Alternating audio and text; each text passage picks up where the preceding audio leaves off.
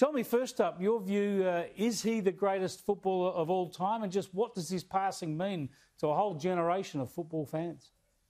Well, good afternoon, Chris, and thank you so much for having me on your show. Um, we'll start off with your second question first. Um, it, it, means so much to so many. Um, football generally is um, the people's game worldwide, and uh, he represented uh, so much to so many, uh, especially in his home country of Argentina. You know, somebody who came from you know quite extreme poverty and built himself up um, uh, to the point where um, not only was he the greatest player of his generation, but in my opinion, you have to say, alongside Pele, I, I, I didn't never see Pele play live or never played for or, or with or against him. Uh, the greatest player uh, of all time. Um, put it this way, as I've said many times today, uh, for, the, for those in our game, when it comes down to things like this, just like a lot of other sports, you know, when you talk about cricket batsmen, you know, there's people always going to compare different generations. But when you do have that conversation uh, in our sport about the greatest player of all time, Diego Maradona's name is the first one that will come out, whether, whether you're for or against it. Me personally, I think he was. Uh, the reason I think he was is because he did it at a time where the protection that was afforded uh, by the referees or the officialdom that, that there is now wasn't so prevalent back then. And, uh, and also, the state of the pitches now are basically like carpets wherever you play, where it wasn't back then. And he did it at that time. And, uh, and like I said to you before, um, for, for me, there was no one that was better. Yeah, it's a bit like when we talk about Bradman. The conditions were so much harder uh, for yeah. the cricketers in those years. And Maradona, even in some of the vision we've been seeing here, the way that people are chopping at his legs while he's trying to dribble the ball through is extraordinary. We've shown what uh, many say is the greatest goal of all time, which was mm. his second goal against England back in that 1986 uh, World Cup. Mm. Let's have a look at the first goal and the most controversial goal in the history of football, I reckon. Have a look. Mm haven't seen that much of Hodge or Trevor Steven. Maradona just walked away from Hoddle then. Valdano, Hodge and Maradona! They're appealing for offside. The ball came back off the foot of Steve Hodge. And Maradona gives Argentina the lead.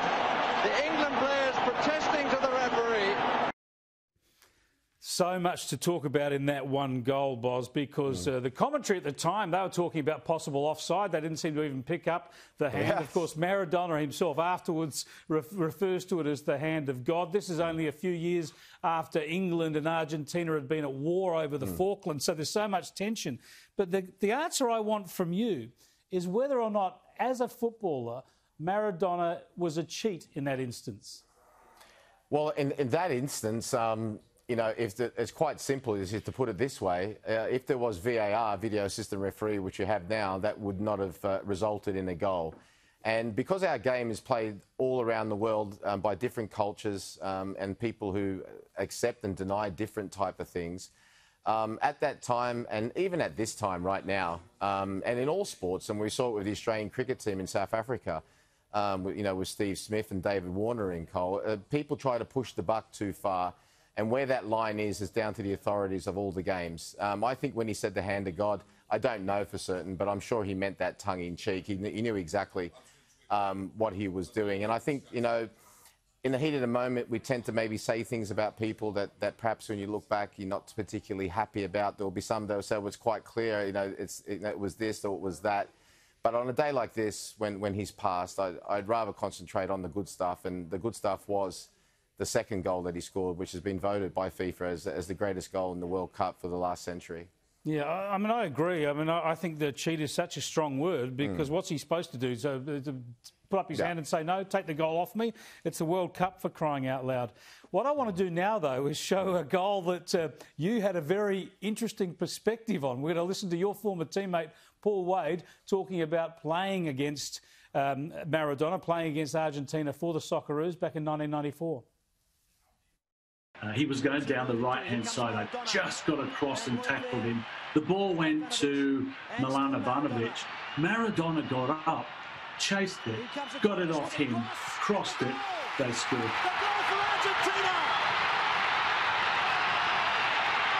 tremendous goal! A moment of magic!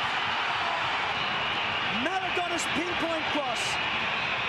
Well, we're just on about it, Andy, weren't we? Bosnich hasn't touched the ball all game. Maradona hardly been in the game. But uh, that is the beauty of him. Just one movement that he's been involved in. one opportunity or half chance, and they put it away.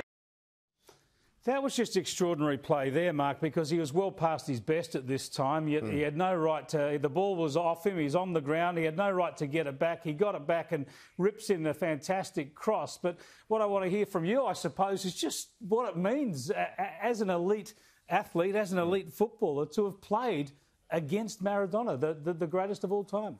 Yeah, well, you're exactly right, and, and, regardless of what vocation that you're in, you always want to, you know, pitch yourself and test yourself up against the best. And you are right what you said at the start of that um, when you said he was in the twilight of his career. Um, you know, he was coming back from from a, I think it was from a, a suspension.